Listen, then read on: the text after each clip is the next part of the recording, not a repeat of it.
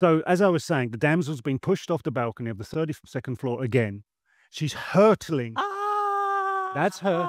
And so then he comes in, he swoops in, and he grabs her. But from a physics perspective, Yes. Charles, what would really happen? Well, the problem is, of course, if Superman is a man of steel and the thing is Oh. coming down, right? And you're coming up with the steel, it's like hitting the concrete ground, right? So the poor Bad damsel in distress would be quite rescued, but also quite squished. So quite So dead. Basically, yeah, Well, he yeah. kills her.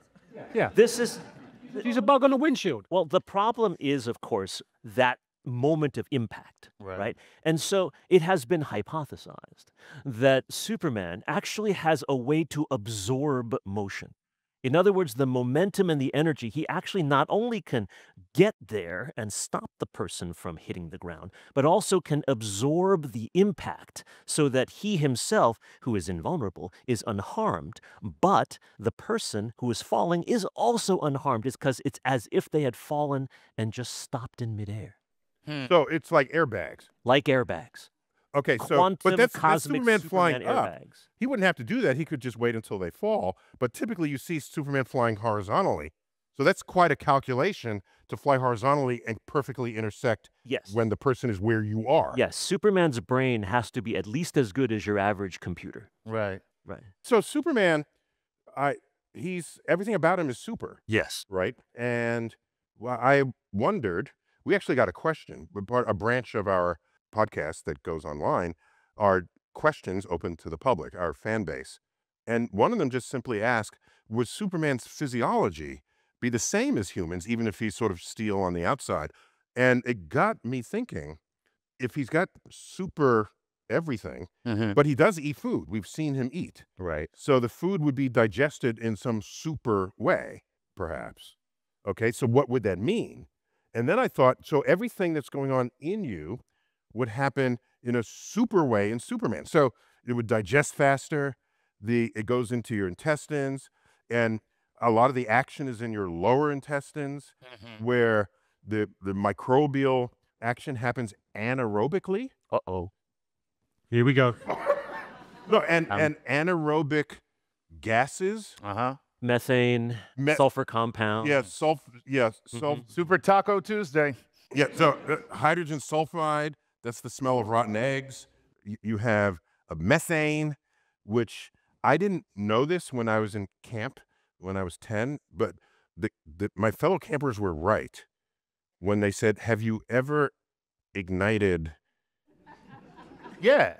That Yeah. thing which I mean, must we not can be come on. I mean, I know we're in the Hamptons, but everybody knows what a fart is. Come on, come on. No, but so okay, so fine. So, no, so so you can ask, what is the gaseous composition of that? Okay. And in Superman, it would be super, right? All and right. methane, of course, is highly flammable. Yes. And in cities, it's the gas of choice for your stove if you still have a gas stove. Suburbs tend to have propane. These are varieties of flammable gases that you get from crude oil. So, so methane Mm-hmm. is flammable. Yes. So, so it occurred to me that this is another tool Superman would have in crime fighting because because he he would just sort of load it up, okay, then And point that roll at down me. his pants and just let one out, and he's got the vision, Laser vision. laser vision, X-ray vision. Then then he, but no, we can get to X-rays yet. All right. He's got he can he got Yeah, laser vision. Laser vision. He could just ignite it, and so it would be a new kind of flamethrower. oh, what a terrible death for those villains. no, no, that would be a. It's it's it's physiological. Yeah. It's. It works. I, I think it would work. Yeah. You could never sneak up on Superman with kryptonite Why? because there'd be a rear guard defense. Oh yes, yes. You couldn't get close enough. Couldn't take him from behind. It Yeah. literally would be a fireball. Yes. Yes, fireball. The, the only problem with this very reasonable reasoning is that when Superman came to the world from Krypton, Mhm. he did not have gut bacteria yet. He was still like pre colonoscopy. Okay? So any gut bacteria he has achieved from eating here on Earth has come from Earth. So this is a fascinating question, which I would love for your opinions. Okay. does Superman have super gut bacteria or just ordinary gut bacteria? In which Oh. case, right, if he has super digestion, which you said earlier, which Yeah. would be great, it might be so good as to eliminate all gaseous emission, in which case Superman never passes gas. Oh. All right. So Superman has X-ray vision, All right, right? yeah. There's a scene in one of the movies where Lois Lane walks behind a lead planter because he asks, "Oh, if you have X-ray vision," in, in her first interview, uh, then what color panties am I wearing? And he says, "I, I don't know." And he says, "Well, why? Oh, because you're standing behind a lead planter. Because everyone knows lead Absorbs uh, absorbs X-rays. And then she steps out and then he says pink or red or something. But X-rays should not be able to tell color of clothing. That's right. Ah, It's true. It would just go through the clothing. That's right. right. All right. Right. Yeah. Yeah. So you're not accepting poetic license, are you? Not at all. No, no. Right. Okay. If you're going to use X-rays, then stay in the X-ray world. Otherwise, invent N-rays or something. Invent some other rays that he had. If you're going to say X-rays, you better stick with what we know. So what you want is an upgrade for Superman, just X-ray vision, and then a whole load of different Right. dial-up vision That would he be could use. interesting. See? See, they didn't think of that. Well, if you think about Got a whole alphabet. that's right. Yeah. Y rays, Z rays, Z-rays. Yeah, yeah. omega rays. Yes. Well, X rays, as many of you know, uh, they go right through our bodies, right? And they go through different materials and wind up with different colors. For example, our bones look different from our soft tissues and things like that. X ray telescopes that we're familiar with, the Chandra X ray Observatory, XMM Newton, things like that, they can look at the X rays, but X rays are also different colors. Some of them are what we call hard X rays, some of them called soft X rays. And in mm. the same way that we can take pictures in red, green, and blue and then mix them together to form a color photo, Superman could be able to detect or even emit X rays and come back and forth in these different bands and thus create a three color image. This is an undeveloped feature he could have expressed. That's right. This is a, an evolutionary superiority that he has. But instead of us having rod and cone cells, he has some sort of X ray rod and cone cells that so allows him to we are color. limited to just the visible spectrum red orange yellow green blue violet Yes, he's got x-rays as a whole accessible part of the electromagnetic spectrum that's right. and all he does is just see through walls with it Yes. but it's way more useful Highly Well, underdeveloped. He's modest, man. You know what I mean? He probably could do all that, but he just doesn't want to let you know unless you're asking him about your panties. Is that what that- now this thing about his his gut Yes. um we know superman came here as an infant Yes. so i once got a phone call from dc comics Ooh. in my office You're in trouble. Oh, I, I work at the Hayden Planetarium, in case anybody was dragged here by the person next to you and doesn't know anything else about me. That's where I work. And I don't know, uh, 10, 15 years ago, I got a phone call. "D- Hello, is this Dr. Tyson? I said, yes. This is DC Comics. Can we ask you some questions? I said, sure.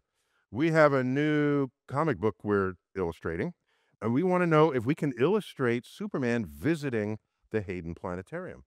Will you give permission for this? Yeah, I mean, wh- wh- who's going to say no to that, right? So I said, "What's up?"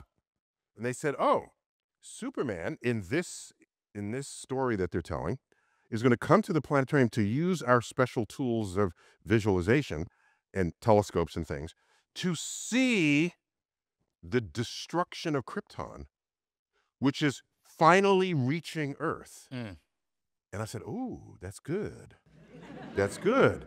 But I had to, I had to, I, I had to dig in, and I said, "All right, Superman was launched Moses style in a basket as an infant, arrived on Earth in that same basket as an infant, and anyone who knows infants knows that a month, two months, you know the difference between the baby." Who's two months old and the three months old. This baby did not age. So there's only two ways. I'm telling this guy on the phone. only two ways, and he's taking notes, right? He didn't argue with anything I was telling him. I said the two ways it could have gotten here. If he traveled this, because they're aliens, so they could do what they want. If he traveled the speed of light to Earth, he would not age relative to Earth, because that's Einstein's relativity. However, if he's traveling the speed of light, so is the destruction of Krypton. That light, those light beams from the destruction would be right alongside him and he'd land on Earth you'd see Krypton destroyed. He couldn't show up later and then observe the event. So, I, so you can't, it can't, you, it can't be the speed of light. It was So at I this said- point the gentleman from DC Comics knew that he had made a mistake. So, so then I said, the only way you can get him here and have all his work is through a wormhole. Okay? A wormhole. They put him through a wormhole. He gets here instantly, long before the light beam. Okay, that's that's really that's very cool, man. Yeah. Okay, so I Yeah, uh, to be honest, that's really cool. Okay, so now, hang on. So then I said, Yeah, hang on. how how old is Superman? And he said, oh, he's eternally in his late 20s. So I said, okay, I can find you a star that's like 26, 27 light years away, and I can make sure it's red because there are plenty of red stars in the galaxy because could the Krypton star Right, is red. Right. And we, we can make that the star he came from.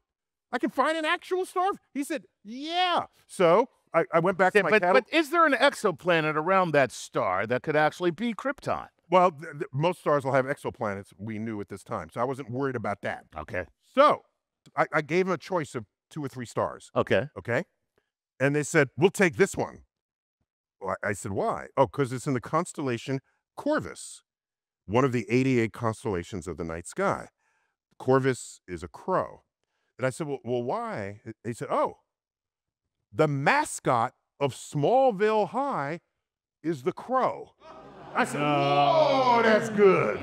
Whoa. So there it is. It's now Superman canon, this conversation. And so, yeah, they drew him, and then they called me back and said, Do you mind if we have him meet you? And I said, Yeah, let's do it. Okay. So in this comic, I am meeting Superman. And there's a tender moment because he sees the destruction of Krypton and he's sad. He's crying super tears. Yes, he's just sad. And uh, I never, I realized at that moment I'd never seen Superman emotionally sad. Right. And angry, sure, but not, not just genuinely sad. Right. And so I know a little more than usual about how Superman got here Hmm. because of that conversation. So here's the takeaway, people. Neil deGrasse Tyson made Superman cry. Thank